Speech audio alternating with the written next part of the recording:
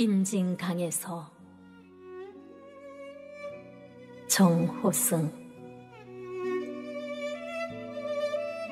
아버지 이제 그만 돌아가세요. 임진강 색강가로 저를 찾지 마세요. 찬 강바람이 아버지의 야윈 옷깃을 스치면 오히려 제 가슴이 춥고 서럽습니다.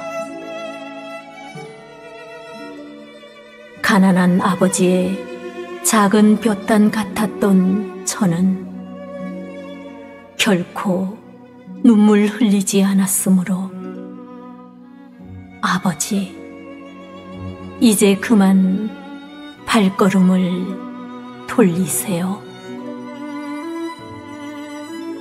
삶이란 마침내 강물 같은 것이라고 강물 위에 부서지는 햇살 같은 것이라고 아버지도 저만치 강물이 되어 뒤돌아보지 말고 흘러가세요.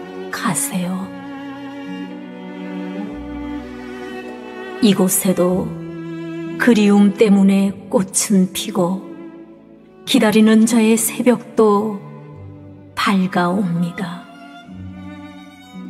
길 잃은 임진강의 외가리들은 더 따뜻한 곳을 찾아 길을 떠나고 길을 기다리는 자의 새벽길 되어 어둠의 그림자로 햇살이 되어 저도 이제 어딘가로 길 떠납니다.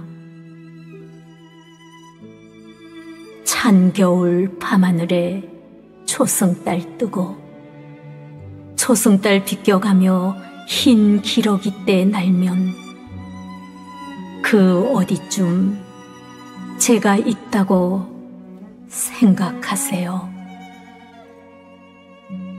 오늘도 색강가로 저를 찾으신 강가에 얼어붙은 건불 같은 아버지.